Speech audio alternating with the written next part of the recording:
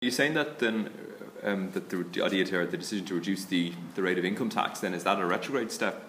Um, Generally speaking, uh, yes, it is. I mean, we would much prefer to see investment in the high quality public services.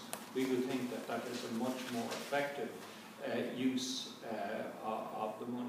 So has this budget favoured, if you like, in one sense, um, middle and higher income earners rather than low income earners? We think it is regressive in many ways, uh, or to a degree. We would certainly not have dropped the rate of 41%. We would not have dropped that, most definitely. And just to, to clarify, um, in relation to the, the 9% VAT rate being maintained, are, are, you critical of the decision to actually maintain that, or is it more of a case that you're critical of the government for, for lauding the success of that move, for creating jobs when really they're actually pretty we, poorly paid jobs? Look, we think you need much more evidence based policy making. Right? The, the Fintan O'Toole had an interesting little article the other morning where he said, uh, you know this thing, the cock crows and the sun rises, you know, so there's, you know, because the cock crowed, the sun came up, do you know what I mean?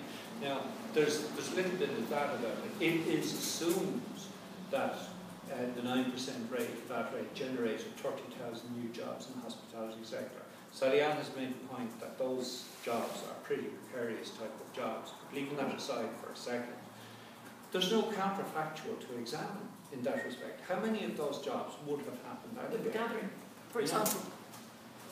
Like, you, you need more solid evidence